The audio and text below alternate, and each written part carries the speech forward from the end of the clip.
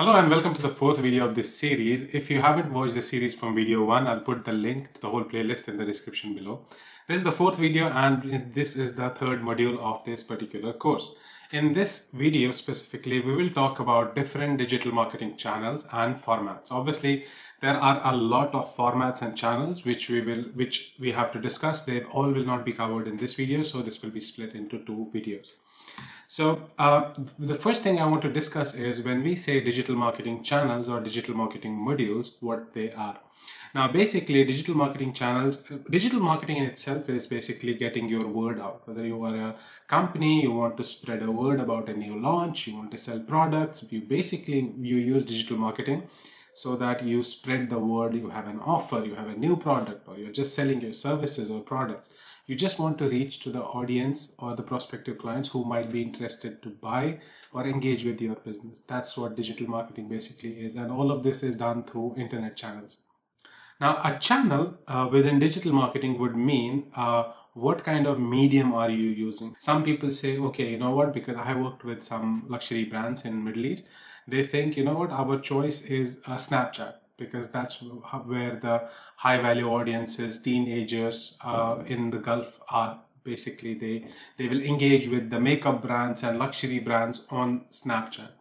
And in some cases, if you are an e-commerce website and you sell, let's say, jackets or electronics, you want to be present on whenever somebody is searching on Google, let's say uh, black jackets for men, you want to be present there. So in that case you use google as a channel. So there are specific channels. Now without wasting any more time so here on the screen you will see that the, these are the most popular channels in digital media. Actually i'll say all of them. Maybe there are some channels uh, here and there small channels but most of the times this covers like 95% or more uh, media. So these are the different channels in digital marketing. Obviously if you want to be a digital marketer or you want to do digital marketing for your company you will have to understand each of these channels, what they mean, why are they important, because each of these channels have some pros and cons.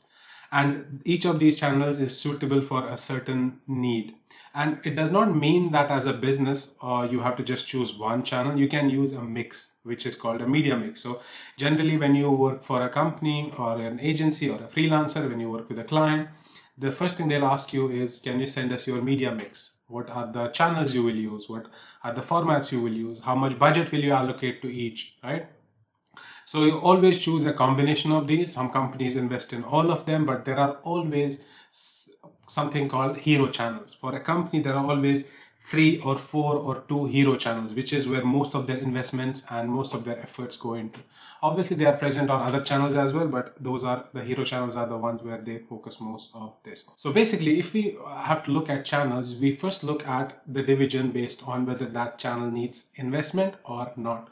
For example, on the left hand side, you will see these are paid channels, which are where you have to invest money as a company. So for example, SEM or search engine marketing or uh, display advertising, video advertising, app advertising, social media marketing. If you observe, social media marketing is both in non-paid channels and paid channels as well because you can run ads on Facebook or on other social media as well as you can just do organic content uh, publishing. So that's why it's covered in kind of both um, the categories. Then we have shopping ads, programmatic, affiliate, influencer, audio, and on the right hand side in non-paid channels we have SEO, SMM, email, content, and PR. So that's what we will discuss in this module. Now, obviously, each of them, them we will discuss in detail. For example, search engine marketing, it's a field in itself. So we will cover them in detail, but this video, because we're just starting, I just want your fundamentals to be very strong. So in this video, I'll just give you an overview of each of these channels and later, obviously, we will discuss all of them in detail. But this is very important at this point of time uh, to understand these channels and get familiar because probably from next module onwards, we will focus more on strategy and hands-on. We'll uh, catch up the pace, but I kind of kept these videos a bit slow so that you have uh, strong fundamentals, right? Before we jump into each of these channels, I want you to understand that how do you identify something is an ad? Now, when you go to internet, you go to Google, you go to other websites, there's a lot of content. Now, which of those are ads? So as per the IAB standards, every advertiser or a company, tech company like Google or whoever is handling your advertising, they need to mention that whatever content is ad, they need to mention it. For example, if you go to Google, you will see anything that is an ad will have something like this, which is AD ad. And then uh, if you see this display advertising, uh, this will have this kind of error, if this kind of icon. If you hover your mouse, it will say ad choices or something. And same thing on Facebook here, if you go, you will see sponsored. In some cases, you will see advertisement like this one. Let me show you, uh, for example, I'll go to Google and I will search, let's say for jackets for men. See, uh, these are the ads. That's why you will see it says ads here. And then this one is an ad. It will mention ad here. This one is an ad. This will mention ad. And then you see this is an organic result and it will not say ad. Similarly, if I go to, let's say, uh, for example, Khaleej Times is a website. I'll go here and if you see that this is all the content the website has but if you see this one is an ad which is loading it will say this is an advertisement. Or even on the right hand side this is an advertisement. Even here as I told you if you click on hover your mouse it will show ad choices. So basically any ad you see on internet it will have something called ad advertisement or in certain cases it will say sponsored. So let's say uh, we go to facebook.com and if I go to facebook.com here let's say I scroll down now you see here it says sponsored which means this is an ad from Adobe right? Even these two on the right hand side they are sponsored. This means this is an ad and this is an ad. Now if you scroll down and you will see that these are organic posts these are organic posts and then you will see uh, this is an ad again. Now this is a Facebook ad on Facebook so now that you understand how to recognize an ad, that's when we will jump into our first uh, category or first channel of digital marketing, which is SEO. Now SEO is short for search engine optimization. As the name suggests, what it means is you have to optimize your website for the search engine. Now what that means is, now whenever you go to Google and you search for something, you see this page with results. This is called SERP, which is Search Engine Result Page. So even if you do it the same thing on Bing or Yahoo or any other search engine, the result page you see, it's called SERP or Search Engine Result Page. Now search engine result page consists of two sections. One is these ads. Now if you see the top four results here, one, two, three, four. They are all ads because it's a ad, ad, ad. Sometimes you'll see an ad here or anywhere. And this is the paid section or the sponsored section. And if you scroll down after the third or fourth result, these results, they will not have anything called ad here. That means they are organic results. Now, those are the paid results. These are the organic results. Now, these ones are results are from campaigns. Now, for example, in this case, Skyscanner is running a campaign. Now, in this case, Fly Scoot is running a campaign. We will discuss obviously all of these. Now, this these ads are called search engine marketing. Now, these guys are running campaigns. They're paying Google to show their results for this keyword here, right? Anyways, that is a topic for later. But after this section, these ones are called organic because they do not pay to Google, right? So now why when I search for cheapest air tickets, why did cheapflights.com appear here? Then EaseMyTrip appeared on the second uh, ranking and then Kayak on the third ranking and there will be a lot. So if I go to next page here, I will have thousands and thousands of results. Now some page, some websites will be on the ninth page, eighth page. Now obviously the higher you rank in the organic section, for example, the first page, the first result, it means that this website has the highest ranking, right? So SEO is basically a process where you optimize your website to make sure that your ranking increases. Now in, in for this particular keyword, cheapest air tickets, now cheap flights has the highest SEO ranking. It has ranking of one, right? Now, which means that their SEO is very good. Similarly, EaseMyTrip, they have a very good SEO, but not as good as this particular website cheap flights for this particular keyword which is cheapest air tickets. Maybe if i search for uh, tickets from berlin to india maybe EaseMyTrip will be on the first rank. That means EaseMyTrip seo for that keyword is the best. It has ranking one. So seo is always tied with keywords.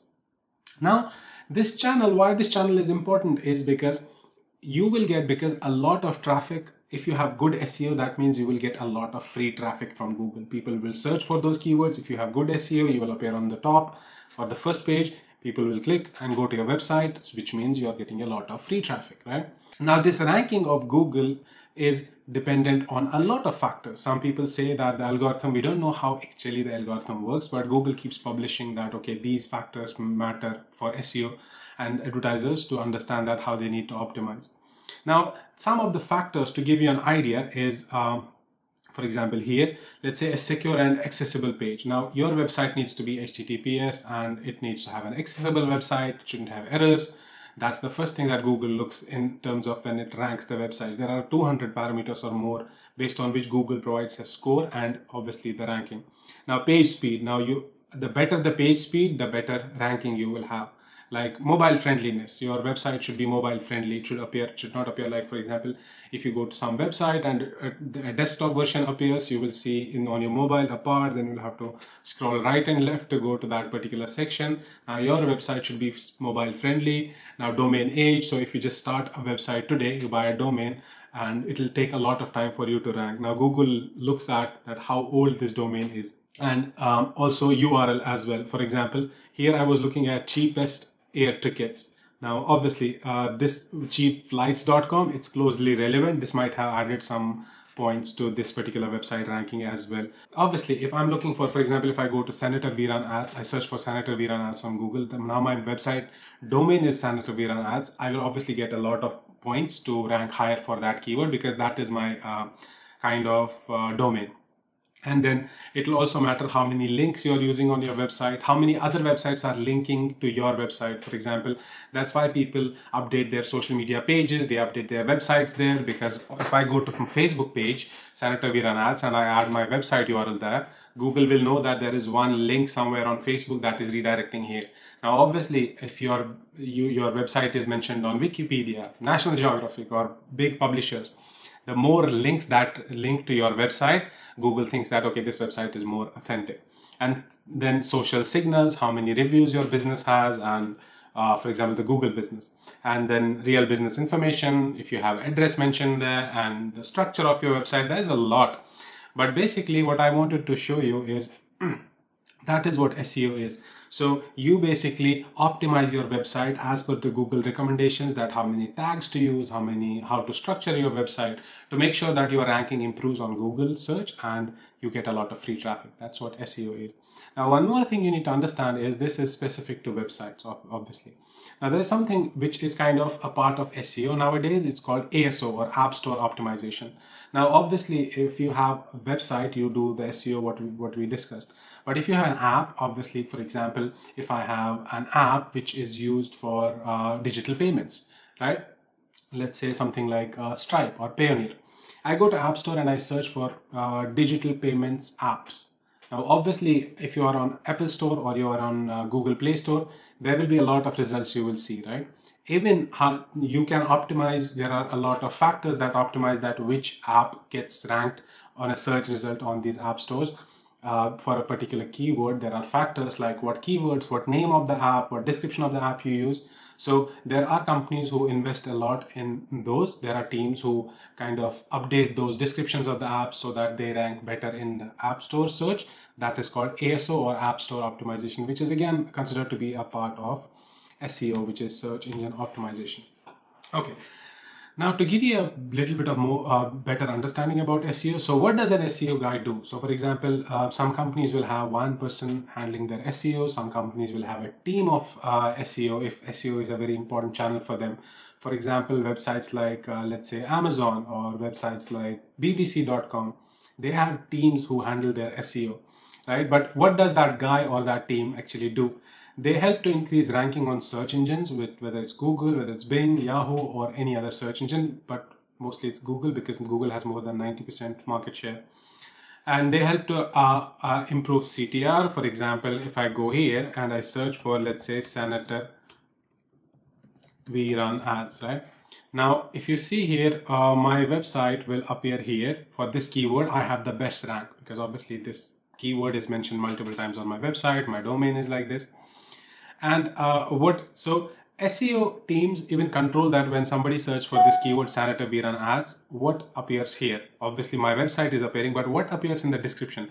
Ovais Ahmad offers di- digital marketing training and consulting. So they test different copies here so that um, I have better CTR. Now this is a different, a bit of uh, different examples. Now let's say I search for cheap flights.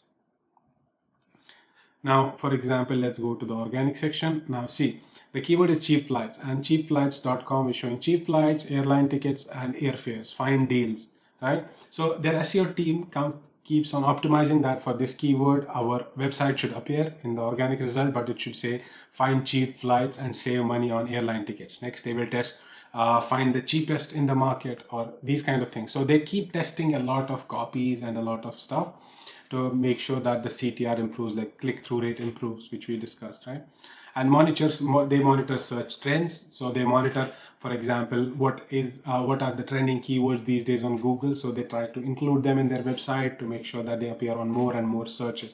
For example, let's say in 2021, there was a surge in keywords for uh, work uh, home office setup. So the furniture companies were focusing a lot on this. Similarly, people were buying and looking for uh, COVID test labs around them. So the webs, the hospitals and those kind of companies, they focused on these kind of keywords.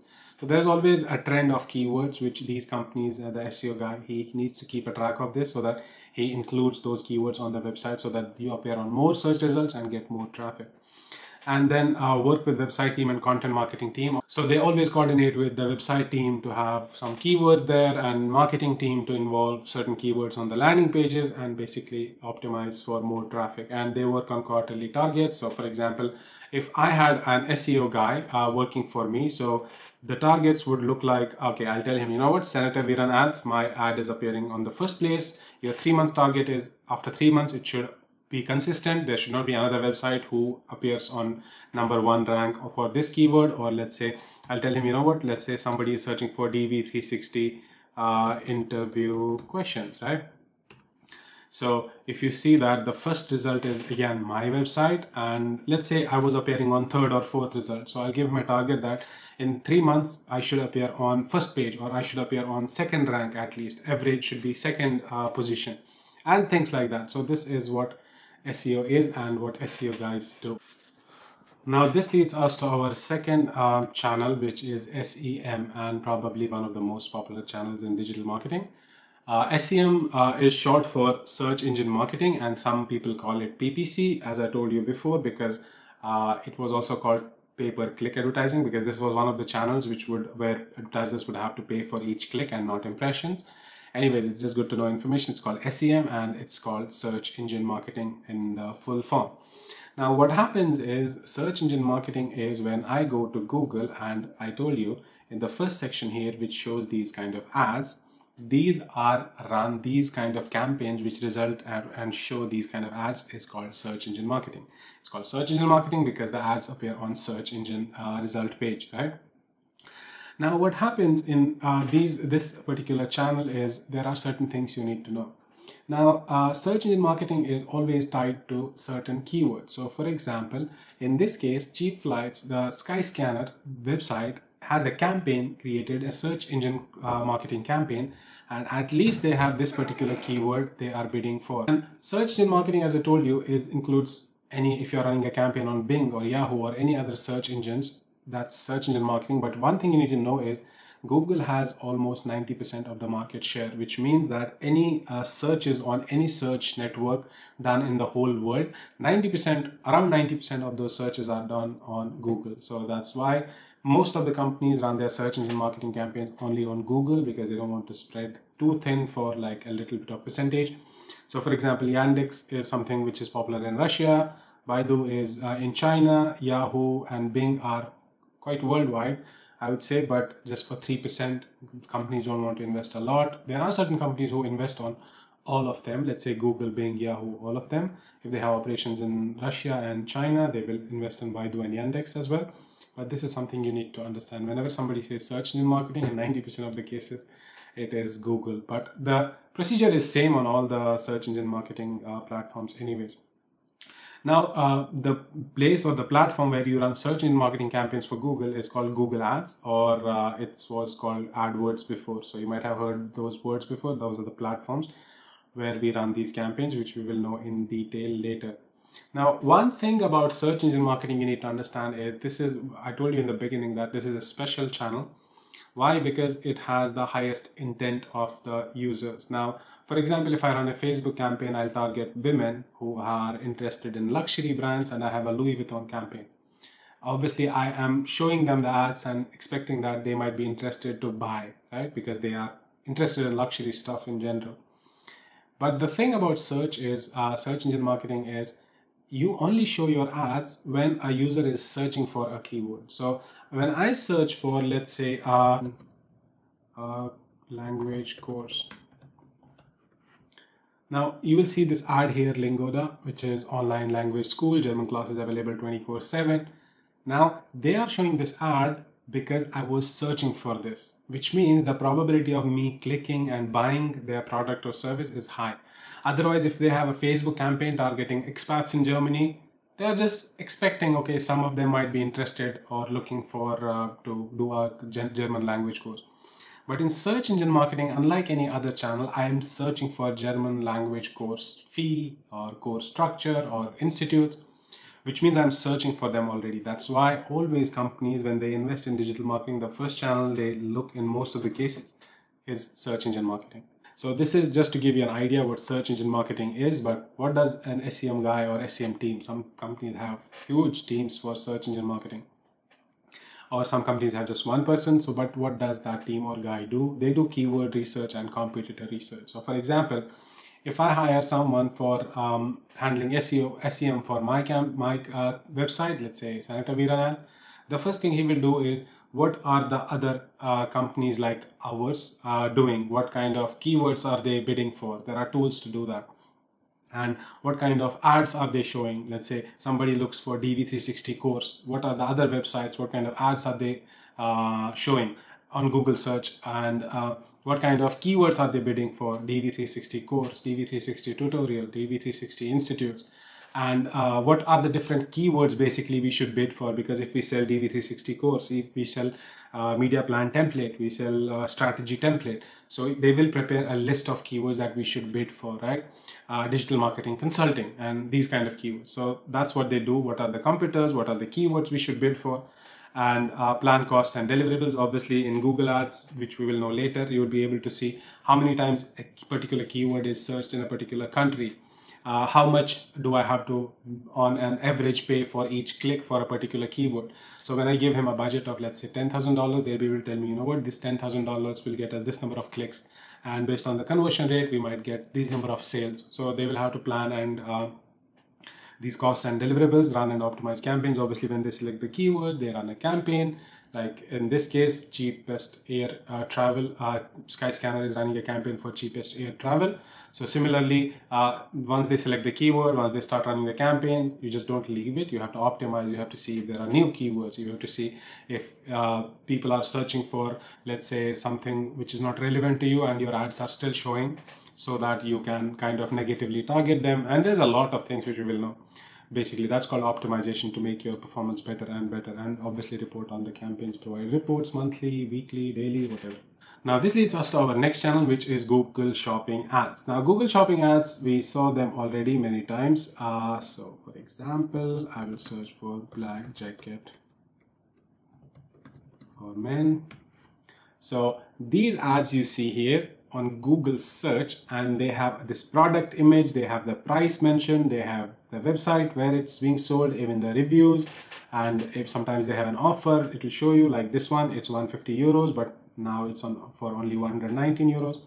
This particular section which appears on top of the Google search here and uh, is called shopping ads.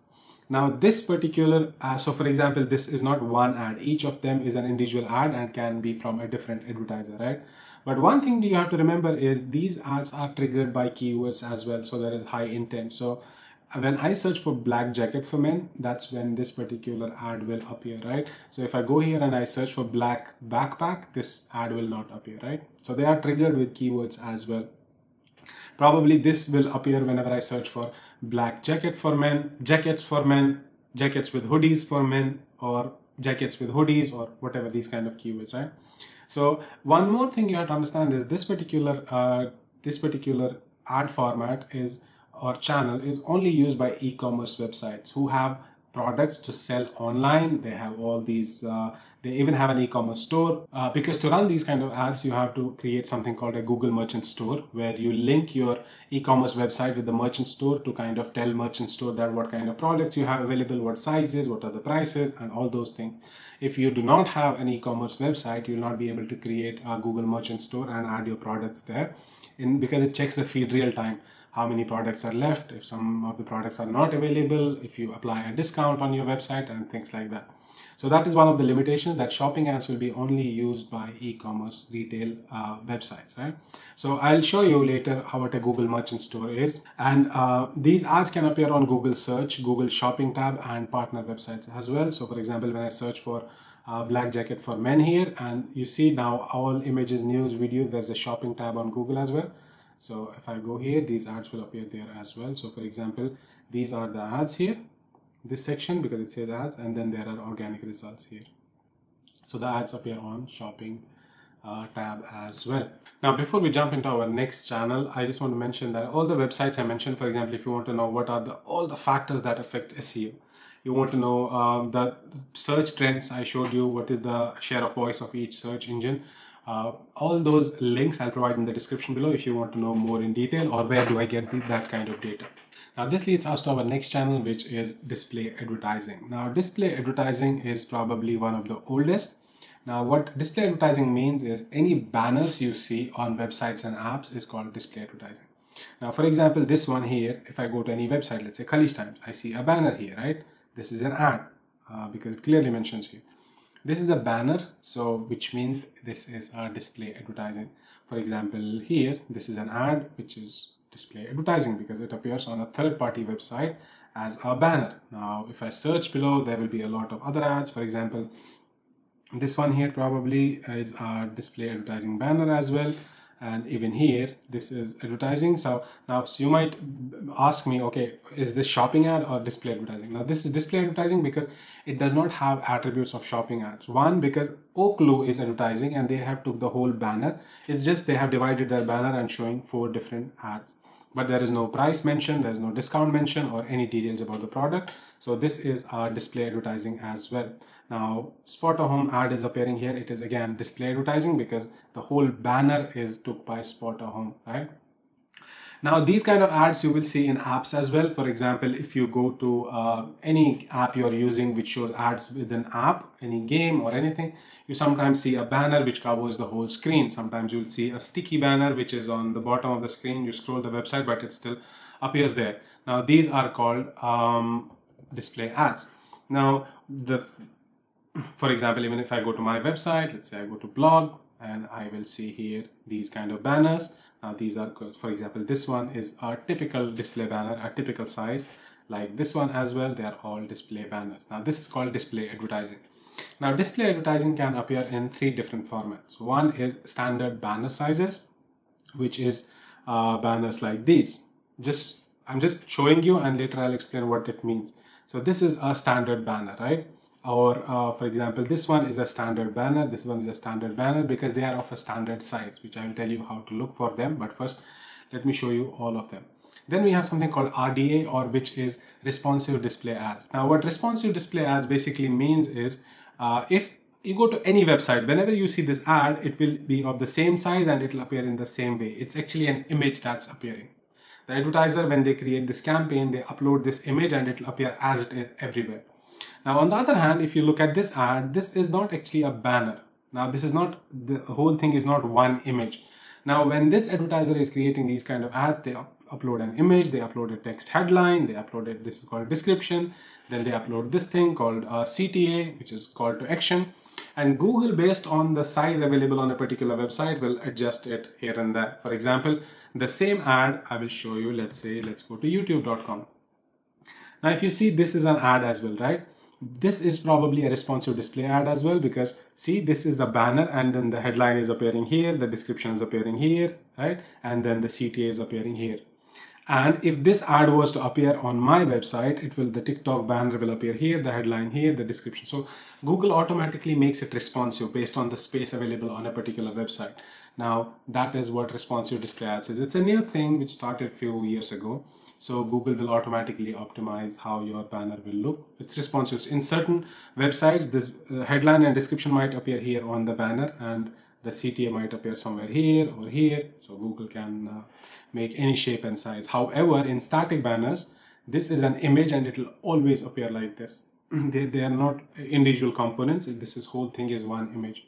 So that's called responsive display ads. And then we have native ads. What native ads means is native ads is something when an ad appears on a website and it looks like a part of the website. So it looks like the native content. You will not be able to differentiate whether it's an ad or not, except it will have something called advertisement on top. Let's say, for example, let me try to show you something. It's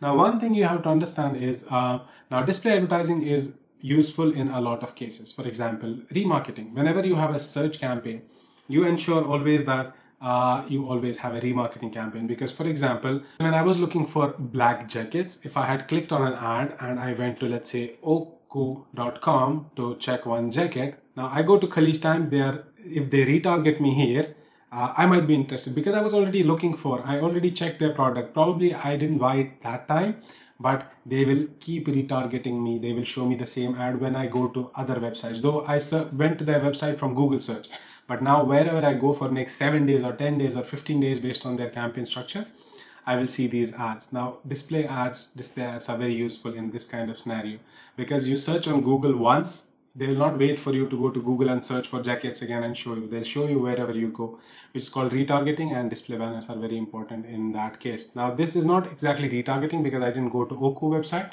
but that is our second point. Now retargeting at these kind of display banners are important for contextual advertising or custom audiences. Um, so in this case, I will I will be their custom intent audience because I was looking for, they had created a campaign, a display campaign such that they would have in their campaign mentioned that anybody who was searching for uh, black jackets or jackets for men, they should see our display campaign. The, these kind of audiences are called custom intent audiences. So, which we will know in detail, but I'm just giving you an idea. So in this case, so for example, the probability of me clicking on their ad here is high because I was looking for jackets. So if I see their banner, I might click and buy a product as well. So that's uh, why display advertising is good for remarketing, custom audiences, and it's good for branding as well. So for example, if you have, let's say iPhone has an uh, iPhone 14 is launched. Uh, so in those cases, they take these homepage top of, let's say BBC and top publishing websites in each uh, country and this gives a good branding um, it's good for branding and awareness or uh, other things as well but yeah display advertising is used as that as well but companies spend a lot on display advertising as well. We will know more in detail when we are doing a campaign but this is just to give you an idea. One thing you need to understand about display advertising is whenever you, we are talking about display advertising when you upload creatives there are certain standard sizes. Like your designer cannot come up with any particular size and send it to a publisher to uh, run it or upload it in Google Ads.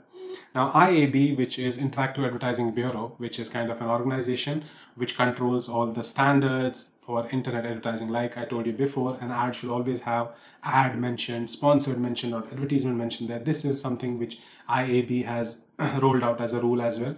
And they act as a central agency who control everything about internet advertising. Now, as per IAB, there are certain standard sizes because the problem, what was happening before or would have happened is a publisher creates an ad slot on their website based on, let's say, a particular size. They want a particular size of ad. The advertiser will create a design which will look good for them. Now, because these ads have to appear on these slots, so there needs to be uniformity. So IAB set certain standard sizes that, okay, these are the standard sizes which everyone should use. For example, uh, the first thing, uh, whenever you look at a banner, it has a size. So you will hear something like 300 cross 250, 728 cross 90. 300 cross 250 would mean that it has a width of 300 and 250 height. If it is somebody says, uh, we want a banner of 970 cross 250, which means its width is 970 pixels and height is 250 pixels. So that's how the sizes of banners um, are mentioned. But uh, now certain sizes have names as well. For example, 300 cross 250 is called MPU or medium rectangle.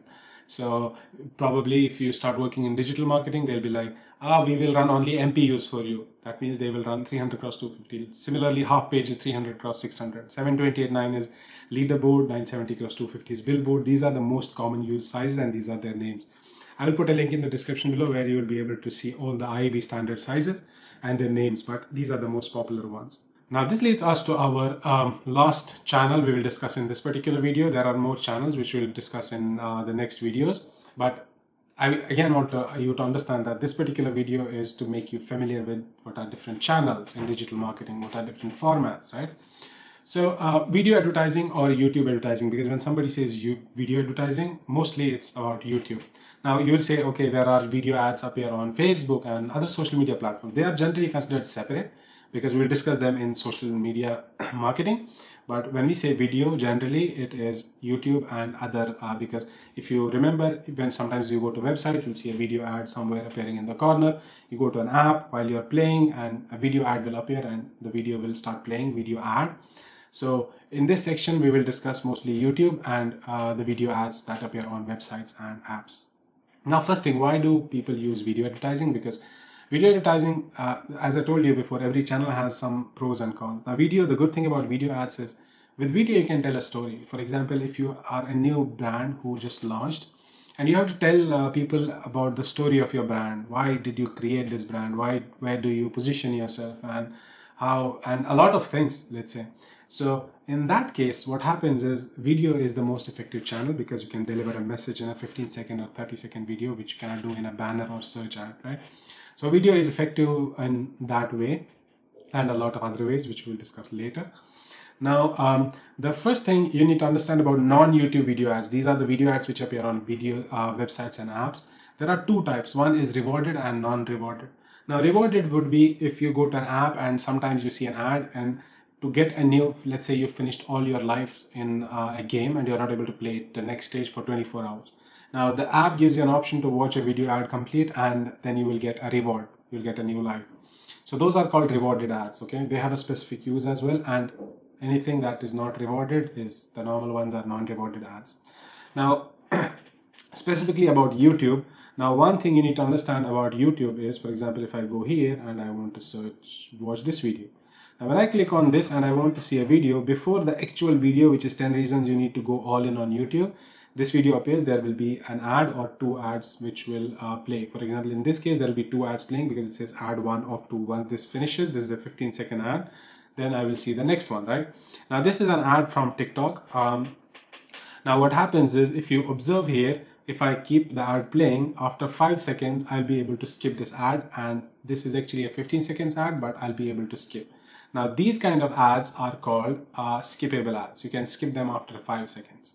The other type on the other hand is non-skippable. They are generally 15 to 20 seconds long and you will not be able to skip those. They will appear in the beginning of the video. You will have to watch 10 seconds, 15 seconds. Now the limits, uh, the maximum uh, limit because uh, non-skippable ad cannot be like two minutes. You'll have to watch two minutes of ads before you start playing the video. Now, generally in some countries, the maximum uh, uh, video ad size or length has to be 15 seconds and in some countries it can be up to 20 seconds depending on the geography. Now I'll put a link for that in the description below as well if you want to know which countries has 15 seconds limit and which countries have 13 seconds. But the idea here is one is skippable ads where you can skip, one is non-skippable ads where you cannot skip. And then there are bumper ads. So for example, if I keep it playing, I watch the video and suddenly in between there'll be an ad which will play no skip button and it will not even have so for example in this video i have an option to click on this and go to tiktok website. Those ads will not have this thing. Those are called bumpers and they're always six seconds. So those are the third types which appear in between of the video right? And then there are overlays. Uh, what happens on youtube these are the four formats. This is actually this is not a video ad so uh, while, while you are playing the video, the actual video will play here. You'll be watching the actual video, but you will see a banner here. So those are called overlays. Now, one thing different about those overlay ads are they are display banners actually, because they're not a video ad. They will just appear here as a static banner, right? So those are the four formats and now based on if this ad appears so now this video ad appeared in the beginning of the video that's why it's called pre-roll if it appears in middle somewhere then it will be called uh, mid-roll and if it appears at the end it's called uh, post-roll so these are the different positions associated with uh, different video ads. So whenever you run video ads you can choose my ad should always appear as pre-roll mid-roll or uh, end roll. So that is about uh, video ads on youtube and other websites. Nothing special about them. Probably when we create a video campaign you'll be able to see a bit more but that's all to know about video ads. And that's all for this video. Thank you so much. I'll see you in the next one where we continue with the other uh, digital marketing channel